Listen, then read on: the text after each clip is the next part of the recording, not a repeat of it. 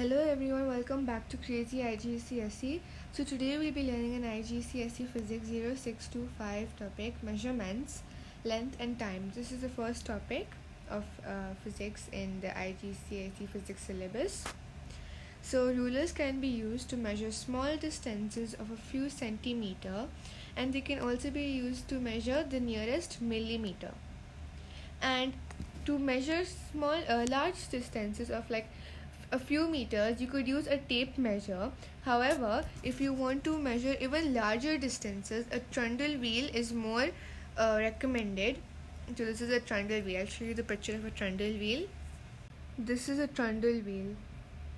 And a measuring cylinder is sorry a measuring cylinder is used to measure the volume of liquids or by measuring the change in volume the volume of an irregular shape so for example here you need to also remember always measure from the bottom of the meniscus.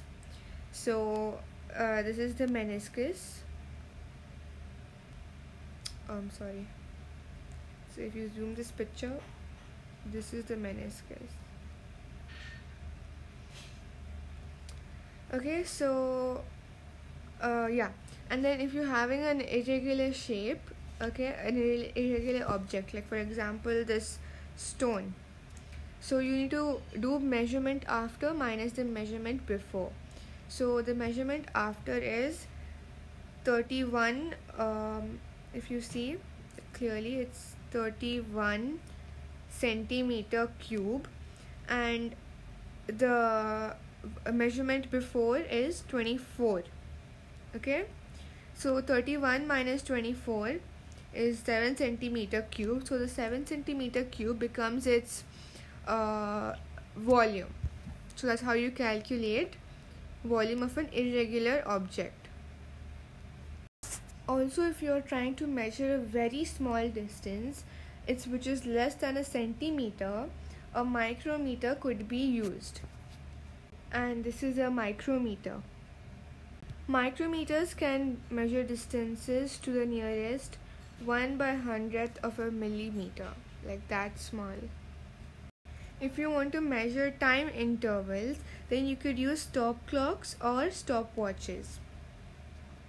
And uh, human reaction time is very important because uh, if if the measurement involved is very short then it will be very difficult to record the human reaction time.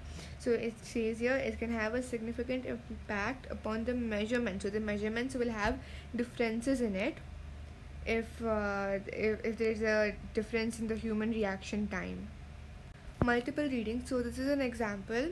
Example you uh, you've given a question to measure the thickness of a sheet of a paper so what you need to do is uh, you, your answer needs to be accurate right? So first you measure the thickness of 100 sheets of those papers and then uh, divide your answer by 100 and then it will give you an accurate figure of the thickness of one sheet. Okay? Now if you are having a pendulum so the process of taking a reading of a large number of values and then dividing the number dividing it by that number. Okay? So that's a good way of getting accurate values for small figures.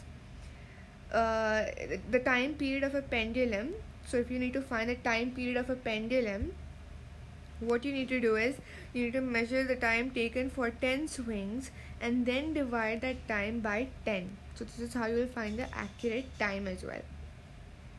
You will have to remember that you should always use small cylinders rather than big ones. So this is a common question asked in your mcqs so they'll ask if you should use a small cylinder or a big cylinder or if you uh, which of the following statements are correct. So questions like these are possible.